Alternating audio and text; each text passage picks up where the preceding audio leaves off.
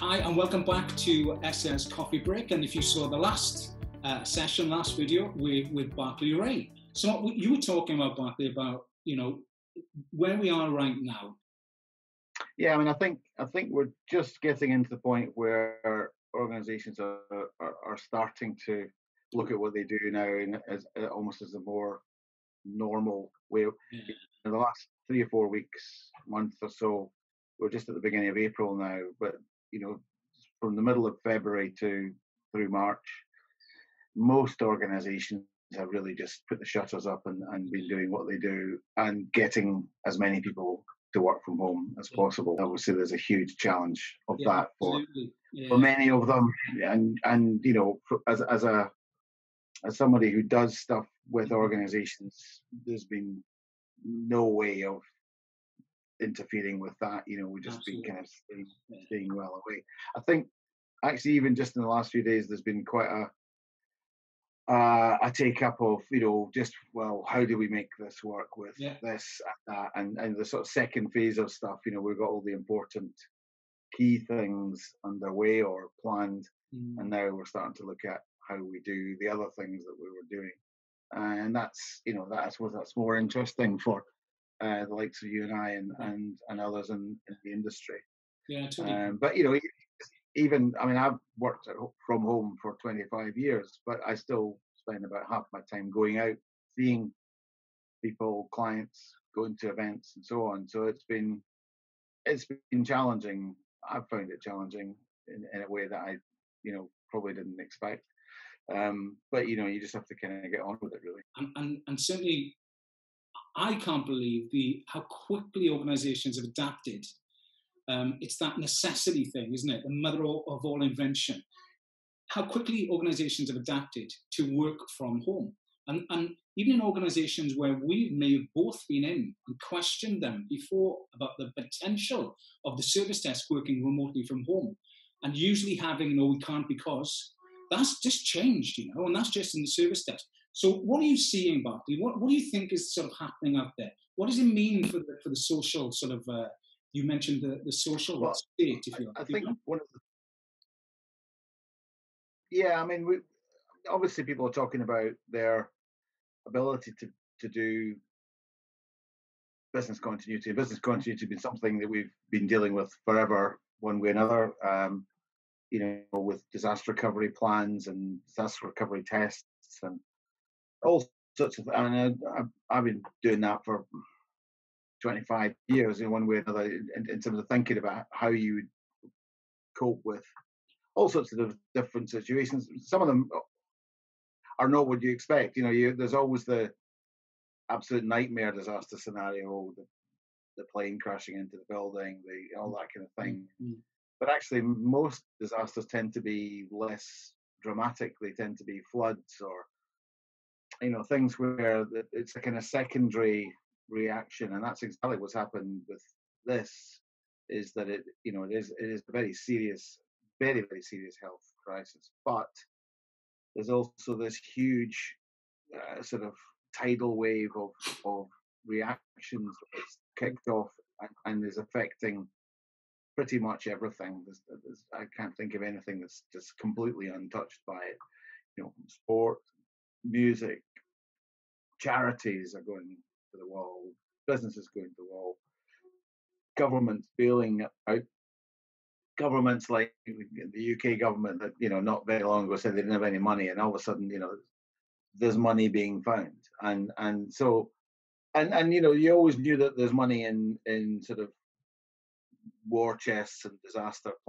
There's always been that, but it's it's just changed everything, and I think that one of the biggest challenges, once we've got past the okay, we've got everybody working from home, we've got everybody doing using Teams and Zoom or whatever it is they're using, and and having meetings that way. how do we sort of maintain the the broader fabric of of our I'm calling it social continuity. Mm. You know, what what is it? How how we interact as people, and what we do is is much more than just have meetings, formal meetings, have individual meetings, um, you know, write papers and, and so on. That that's the output of what we do. But so much of the interactions that we have are in the kind of margins, you know, on on trips, on on in the corridor, on the way to lunch, mm. and that social cohesion is something that's going to be really difficult to yeah. to rebuild. You know, I, agree. I'm, I'm like you, Barclay. You know, um, we both work from home. I worked from home now for six years, and and I've it took me honestly, it took me about three years to come to terms with not working directly with a team day to day.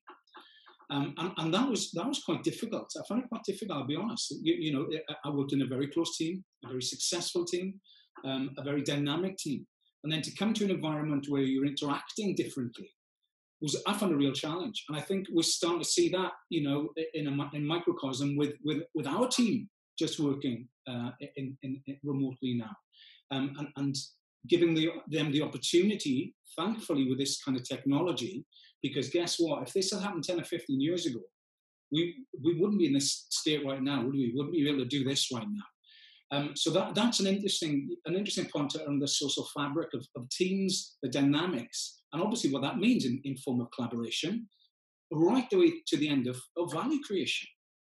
So it's it's interesting because you know I, I, think what you guys did with ITIL Four was superb. I love the value aspect of it. And, and I just wonder about in this time now, what does, what does that mean? What, what does value mean to a, a team that is remote, that may find it harder to, to collaborate uh, and get to the end of that sort of value stream, those value streams, the end of that value cycle? What do you think that means? Well, I mean, I, I do think it, it forces, I mean, as a general point, that this whole situation has forced a lot of things, you know, the sort of the well has the, the dam has been broken in a lot of things.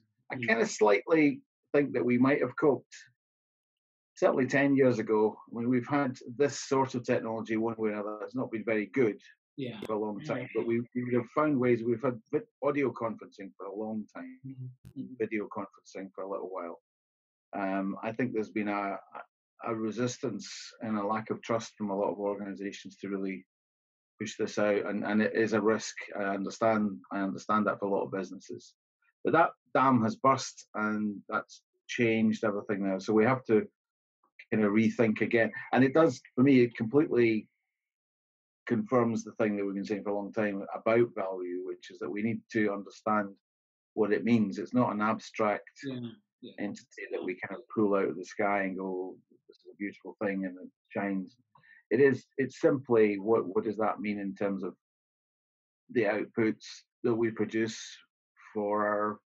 colleagues and customers and being clear on what it is that we're expected to do what we're expected to deliver whether we're working in a service desk or we're you know working doing professional services whatever whatever we're doing we need to be absolutely clear on what the priorities are and what that will deliver and the difficult bit is it's like kids going from school to university, you know, or, or primary to secondary school. There's this, this sudden change of going, hang on, I'm not being told what to do here. Mm. I have to work it out for myself. I have to manage my own time. I have to manage my own workload and so on. That's difficult. Nobody's intuitively good at that. So there's that kind of change of how do we manage our time? How do we, how, you know, and without those kind of reassuring social interaction, it's the social interactions I think that reassure people, just nudge them back, say, yeah, that's really good what you're doing, or hang on, wait a minute, what are you saying there? Let's have a look at that again. And those things do happen in the corridors. They do happen, you know, in the margins of of, of work rather than everything being prescribed and written down and, and so on. Yeah. So I mean, I, I would hope the organisations would learn that they, they shouldn't be trying to prescribe everything, but they need to recognise that there are different types of work. There are some types of work that are collaborative and need to have face-to-face contact, and that there are types of work that can be done, and a lot more that can be done remotely than probably they previously thought.